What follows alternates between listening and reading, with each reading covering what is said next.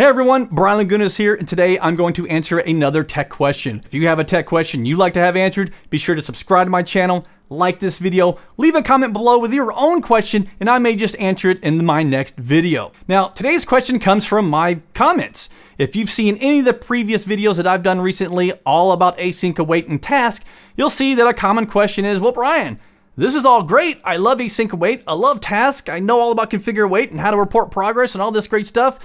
But uh, how do I cancel it? Well, the answer to this is it really depends. There are multiple ways to cancel a process in an application. Uh, there are many ways to cancel a task, and the way you cancel a task really depends on the implementation of that task. Uh, what I mean by that is maybe you have a long running process that's going through some type of recursive loop, uh, and you're going to poll the property and poll for cancellation. Or maybe you're to handle some type of callback. Maybe the API you're using doesn't accept a token, uh, but you still need to cancel the task so you can use a callback to do that. Or maybe you're to use the wait handle, right? I mean, what I'm trying to say are there are multiple ways to cancel a task depending on what you're doing. So in this video, I thought that I would build on a previous video in which we showed reporting progress and we were looping through a whole bunch of numbers, right? So we're to use the polling approach today to cancel a long running task. So enough of this diddle daddle talking chit chat. Let's go ahead and get into the code. Roll that intro.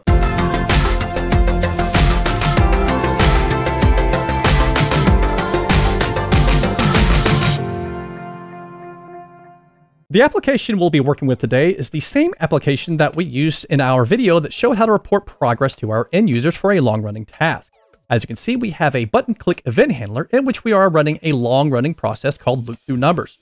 This loop through numbers simply loops through numbers and then reports the percent complete of that process to our end user, and we set the progress bar and text block to that percent value.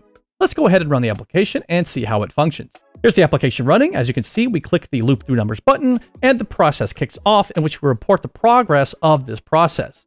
What we want to do is we want to modify this application to implement this cancel button. The expectation is when I click the cancel button, no matter where we are in the process of the loop through numbers function, we will cancel the task and prevent it from running any further.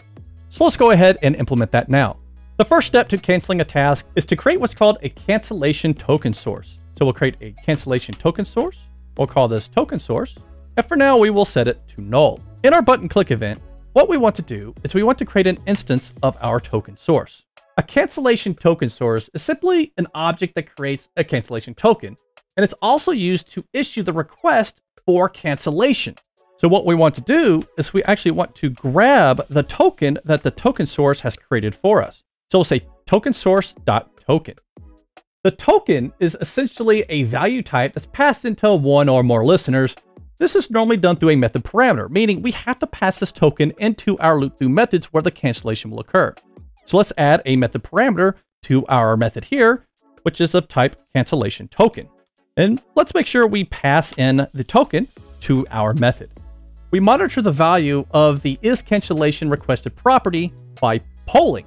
So what I mean by that is let's say if the token dot is cancellation requested, we know that the request to cancel this task has been invoked. This is where, for example, we would do some type of cleanup code, and then we have some options on how we handle the cancellation of this task. Now it's called polling because as we loop through this method, we are continuously checking the is cancellation request property. So we are polling that property each time through each loop. Once we discover that this task has been requested to be canceled, we have some decisions to make to decide how we're going to actually handle the cancellation. One option may be to just throw an exception. Uh, maybe you just return. Maybe we just say, you know what, we're just going to return out of this, right? And just break clean. Uh, another option may be you're dealing with results and you want to return a modified result. Well, in our case, what I'm going to do is I'm going to throw an exception. The recommended way to throw an exception is actually to use the token throw if cancellation requested. So what this means is when we come up to our task to handle this cancellation, what we want to do is we want to wrap this into a try catch block. Now the type of exception that we're going to catch is what's called an operation canceled exception. And in here, we will handle that exception. In this case, we'll say the text block.text equals canceled.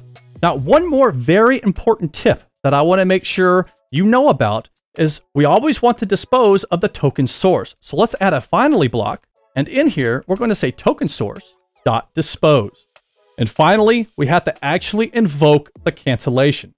This is probably the easiest part. We're simply going to go to our cancel button click event, and we're going to say token source dot cancel. Let's go ahead and run our application and see what happens. Here's the application running. We're going to click the loop through numbers button. We can see that we are looping through our numbers and I'm going to click our cancel button and we have an exception, which is great because that means that through this loop, we have pulled the is cancellation request property. It is true. We're going to do some cleanup code here. And after that cleanup code, we threw the exception. So now we're going to continue through this and we can see that we have properly handled that exception. And now we have updated the UI and said canceled and our progress bar has been stopped at the point of cancellation. And that's it. That's how easy it is to cancel a task using polling of the is cancellation requested property on a token.